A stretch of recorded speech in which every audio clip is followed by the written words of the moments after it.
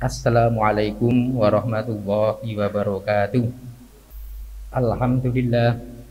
Alhamdulillahilladzi bi ni'matihi tatimmus sholihat. Alhamdulillah mil al mizan wa mablaghul ilm wa muntahar ridha wa zinat arsh. Alhamdulillah adada khalqih wa ridha nafsih wa zinat arshih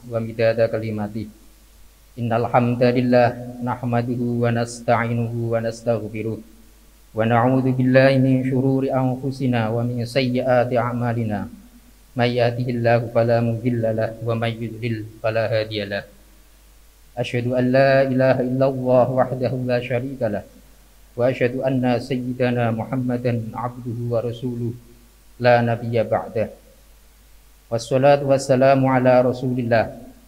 nabiyya ba'dah Wassalatu wassalamu ala Rasulillah Sayyidina Muhammad ibni Abdullah wa ala alihi wa sahbihi wa mawala wa la hawla wa la quwata illa billah Allahumma salli wa sallim wa barik ala Sayyidina Muhammad al-fatihi lima ulik wal khatimi lima sabaq wa nasiril haq bil haq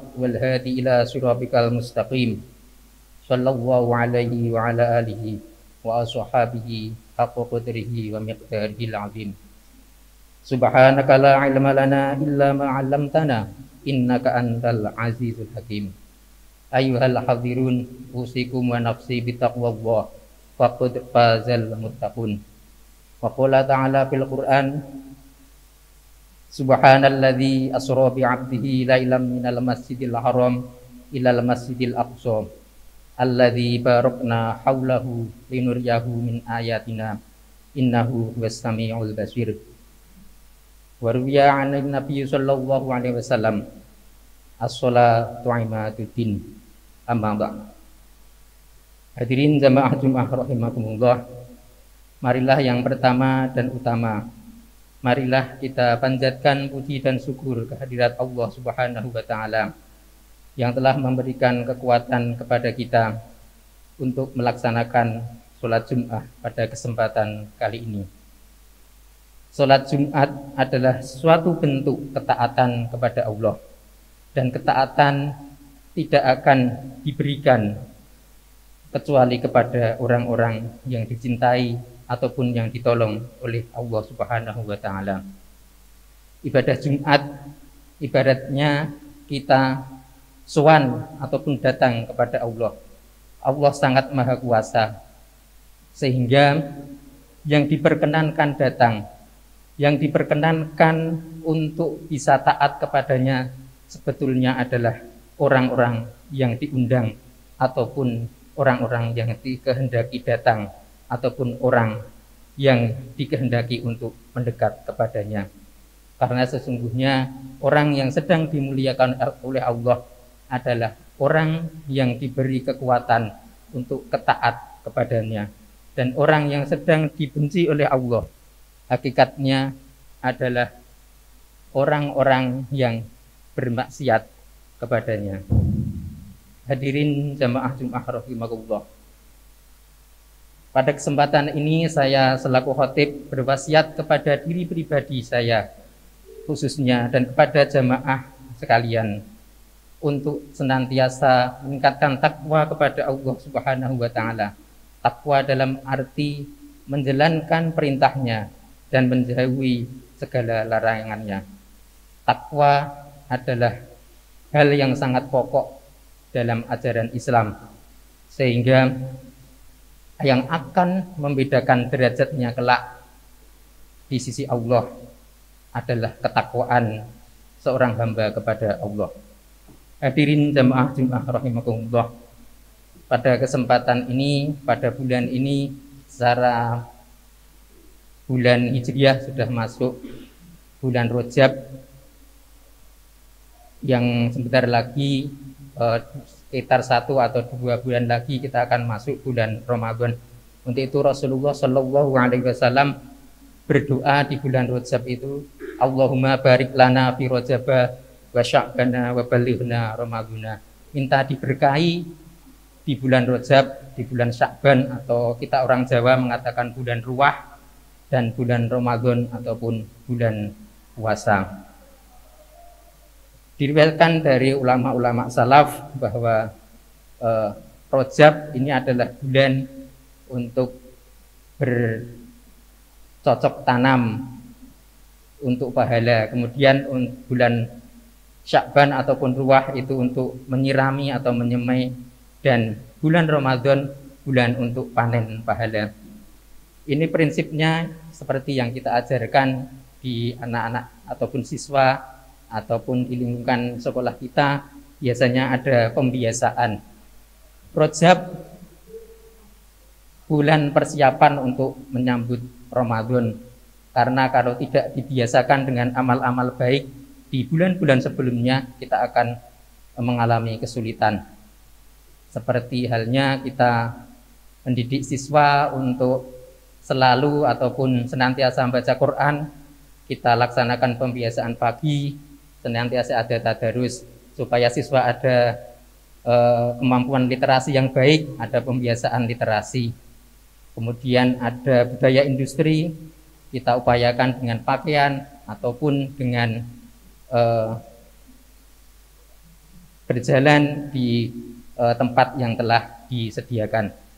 Di dalam agama juga begitu. Ramadan kita akan mendapatkan hal-hal yang baik, juga harus ada persiapan. Amal-amal yang utama bisa dimulai dari bulan Rojab seperti yang dikatakan oleh khotib pada minggu kemarin Bapak Surono yang e, bisa juga dilakukan dengan puasa rojab yang ini pasti ramai di medsos kalau rojab itu tapi kalau kita lihat di eh, kitab-kitab e, klasik ataupun madhab yang empat itu semuanya mengatakan puasa rojab adalah sunat karena diperintahkan oleh Rasulullah untuk berpuasa di Arbaatun Hurum, empat bulan mulia dan rojab termasuk di dalamnya. Sebetulnya yang menjadi perselisihan itu cuma fadilahnya yang spektakuler itu yang e, menjadi permasalahan. Kalau puasanya sendiri itu adalah sunat berdasarkan madhab Hanafi, Maliki, Syafi'i maupun Hambali. Hambali memang awalnya mengatakan makruh karena makruhnya itu kalau rojab puasa sebulan penuh itu baru tidak sunat malah makruh atau kalau mau pula puasa sebulan penuh harus diikuti dengan bulan sesudahnya bulan Sa'ban ataupun disambung dengan hari sebelumnya di bulan Jumadil Akhir atau tidak puasa penuh di bulan Rojab tapi ada yang tidak puasa satu atau dua hari. Ada juga di bulan lain juga harus puasa untuk menghilangkan kemakruhan itu. Pada kesimpulan akhir semuanya madhab mengatakan bahwa puasa sunat puasa rojab itu adalah sunnah. Yang menjadi permasalahan e, perbedaan pendapat itu fadilah-fadilahnya yang sangat agung itu yang kemudian menjadi perbincangan pasti ramai di medsos menjelang bulan rojab tersebut. Jadi monggo silahkan yang mau puasa juga silahkan, yang tidak juga tidak ada tuntutan di dalam agama Islam. Di bulan Rojab juga ada peristiwa yang sangat agung yaitu Isra Mi'raj Nabi Muhammad Shallallahu Alaihi Wasallam. Yang di situ ada perintah sholat yang merupakan rukun kedua dari rukun Islam, yang merupakan hal yang sangat penting bagi kita. Kewajiban sholat tidak akan hilang sebelum uh, hilang akal. Jadi meskipun sakit, pasti ada keringanan, bisa dengan tidur, bisa dengan isyarat dan lain-lain. Kemudian juga kalau tidak bisa wudhu tetap harus sholat. Boleh tidak bersuci. Keadaannya bagaimanapun tetap harus sholat. Tidak ada debu, tidak ada air, tetap harus sholat kalau memasuki waktu. Sebisanya tidak bisa bergerak, tidak bisa bergerak penuh juga tetap uh, mengikuti melaksanakan sholat. Dan bahkan uh, menurut mayoritas ulama kalau ditinggalkan dengan sengaja itu tetap harus kodok mengganti. Dengan alasan apa? Wong meninggalkan sholat wajib itu karena lupa ataupun karena tidur saja wajib mengganti. Apalagi yang dilakukan dengan sengaja. Jadi tetap kita harus hati-hati sholat bagaimanapun harus tetap dilakukan bagaimanapun keadaannya. Sholat merupakan ibadah yang sangat agung karena merupakan gabungan dari ibadahnya para malaikat ataupun ibadahnya dari para rasul-rasul sebelumnya. Kalau kita lihat cara ibadah-ibadah nabi-nabi yang lalu ada yang mirip dengan sholat tapi tidak selengkap di dalam Islam. Karena kalau di dalam Islam sudah disempurnakan uh, dari berbagai macam uh, peribadatan-peribadatan dari agama-agama uh, ataupun risalah-risalah kenabian sebelum Nabi Muhammad. Kita lihat ada uh, juga merupakan gabungan dari ibadah para malaikat. Sebab malaikat ada yang senantiasa cuma bertasbih berdiri saja dari diciptakan sampai hari kiamat. Ada juga yang cuma rukuk saja, ada yang cuma sujud saja, ada yang iktidal saja. Itu uh, yang digabung di dalam sholat lima waktu yang kita laksanakan itu. Juga di dalam sholat terkandung nilai-nilai yang sangat luhur. Diawali dengan Allahu Akbar, kita untuk senantiasa dididik yang kita agukan hakikatnya hanyalah Allah Subhanahu wa taala.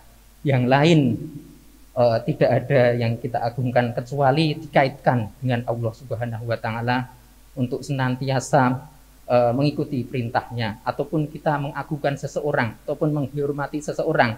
Kita tetap niatkan bahwa menghormati seseorang menghargai seseorang itu merupakan perintah dari Allah Subhanahu wa taala. Juga kita mengucap Allahu Akbar diharapkan uh, kebesaran kita kesombongan kita itu sirna dengan kita mengucap Allahu Akbar tersebut sehingga yang hanya hanya menundukkan diri dan hati kepada Allah Subhanahu wa taala. Sehingga kalau di dalam Al-Qur'an ada yang ada firman Allah simahum fi wujuhim min athar sujud. Terlihat de, di wajahnya bekas sujud. Itu mayoritas ulama mengatakan bahwa yang dinamakan bekas sujud tersebut hakikatnya adalah ketundukan hati yang tercermin di dalam akhlak lahir maupun batin dari seseorang. Kalau asari sujud itu nanti diterjemahkan secara harfiah, secara tekstual juga repot. Nanti yang jurusan-jurusan pariwisata di tempat kita itu wong wajah hitam sedikit saja repot, apalagi pasti harus ditandai dengan ciri tertentu di wajah, nanti akan menjadi problem. Sebab biasanya Islam itu datang sesuai fitrah manusia. Rasulullah sendiri wajahnya Al-Qamari fil Lailatul Badriyah seperti bulan purnama yang sangat cerah. Jadi asari sujud di situ. Kalau lihat di tafsir-tafsir selalu ditafsirkan itu adalah nanti di akhirat yang bercahaya ataupun bekas sujud itu tercantumin di dalam akhlak secara lahir maupun batin dan ketundukan hati. Atau kita lihat posisi kita sujud, kita benamkan kepala kita, yang kita sombongkan biasanya kan pemikiran kita, ide-ide kita dan lain-lain itu kita letakkan di bawah uh, kita buang kotoran baik depan maupun belakang. Jadi diibaratkan kita benamkan kesombongan kita untuk senantiasa tetap mengagungkan Allah Subhanahu wa taala. Juga diakhiri dengan salam sholat itu. Sehingga tetap menghargai, tetap peduli kepada kemanusiaan, nilai-nilai kemanusiaan. Jadi tetap menebarkan salam ke kiri, ke kanan. Ibaratnya manusia itu uh, tetap meskipun kontak kepada Tuhan, hablum minallah, tidak melupakan hablum minanas yang merupakan tanggung jawab kita bersama di dalam kehidupan bermasyarakat dan bernegara. Untuk itu, pada bulan Rajab ini, marilah kita bersiap-siap, kita mulai dengan pembiasaan-pembiasaan yang baik dalam rangka menyambut bulan-bulan yang mulia selanjutnya, terutama bulan Ramadan. Dan kita tingkatkan akhlak dari segi lahir maupun batin untuk senantiasa dapat membawa nilai-nilai sholat, pancaran-pancaran nilai esensial di dalam sholat, di dalam kehidupan sehari-hari. Semampunya, kalaupun tidak bisa uh, sedikit sudah termasuk di dalam kita berusaha untuk menuju hal-hal yang baik. Pembisa, pembiasaan memang sangat perlu karena di dalam hadis orang itu tetap akan dicatat melaksanakan ibadah jika kebiasaannya baik. Misalnya Bapak Ibu senantiasa kalau jam 9 sholat duha. Kemudian suatu hal tidak bisa sholat duha ataupun sakit atau suatu halangan tetap dicatat oleh Allah melalui para malaikatnya beribadah pada jam-jam tersebut. Ini para ulama juga menafsirkan orang yang meninggal dalam keadaan sholat itu tidak selalu dicapai dengan dia dalam keadaan sholat ataupun dalam keadaan ruku ataupun sujud. Bisa didapat dengan dia di jam-jam tersebut biasanya sedang apa. Dia meninggal di jam 2 yang biasanya dia baca Quran misalnya, dia akan tercatat sebagai orang yang meninggal di dalam dia membaca Quran. Misalnya meninggal seseorang jam 9 biasanya sholat duha, dia tetap akan dicatat oleh Allah dalam keadaan meninggal di dalam sholat dalam karena dia meninggal di waktu-waktu biasanya dia melakukan ibadah. Barakallahu li wa lakum fil Qur'anil azim wa nafa'ani wa iyyakum minal ayati wa dzikril hakim. A'udzu billahi minasyaitonir rajim. Bismillahirrahmanirrahim. Fawailul lil musallin alladzina hum an salatihim sahun wa qur rabbi warham wa anta khairur rahimin.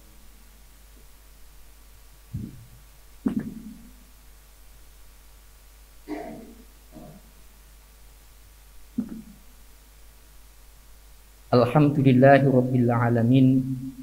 Wa nasta'inu ala umuri dunya wa din. Wal aqibatu lil muttaqin wa illa ala zalimin. Asyhadu an la ilaha illallah wahdahu la syarika lah al-malikul wa asyhadu anna muhammadan abduhu wa rasuluh sadiqul wa'dil amin Allahumma salli ala sayyidina Muhammad fil awalin wa salli ala Muhammad fil akhirin wa salli ala Muhammad fil nabiyyin wa salli ala Muhammad fil mala'il a'la ila yaumiddin Ayyuhal hadirun ittaqullah ittaqullah haqqa tuqatih wa illa wa antum muslimun. Wa qala ta'ala fil Qur'anil azim innallaha wa malaikatahu yusalluna 'alan nabi ya ayyuhalladzina amanu sallu 'alaihi wa sallimu taslima.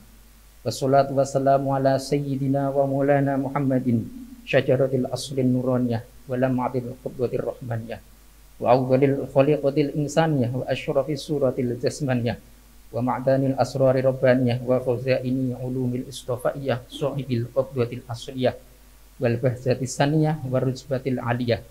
Manin darajatin nabiyun tahta liwaihi fahum minhu wa ilaihi wa salli wa sallim wa barik alaihi wa ala alihi wa sahbihi adada ma khalaqta wa razaqta wa amatta wa ahyaita ila yaumin tab'atsu man afnaita wa sallim tasliman katsira wa anna ma'hum bi ya arhamar rahimin Allahumma ghfir lil muslimina wal muslimat wal mu'minina wal mu'minat al ahya'i minhum wal amwat innaka sami'un qaribun mujibud da'wat wa ya qadiyal hajat. Allahumma ahsin naqibatana bil umuri kulliha wa sirna min khiyyid dunya wa adabil akhirah. Allahumma inna nas'aluka ridhaka wal jannah wa na'udzu bika min sakhatika wan nar اللهم لا تسلط علينا بذنوبنا من لا يخوك ولا يرحمنا. اللهم إنك عفو كريم. تحب العفو واعف عنا. اللهم اجعل خير أيامنا يوم نلقاك. وأنت راض عنا واختم بالصالحات أعمالنا. وتوفنا مسلمين ولحقنا بالصالحين. واحشرنا مع المقربين. اللهم بارك لنا في رجب وشعبنا وبلغنا رمضان ربنا اغفر لنا ولإخواننا الذين سبقونا بالإيمان ولا تجعل في قلوبنا غلا للذين آمنوا. ربنا إنك رؤوف رحيم. أقيم الصلاة.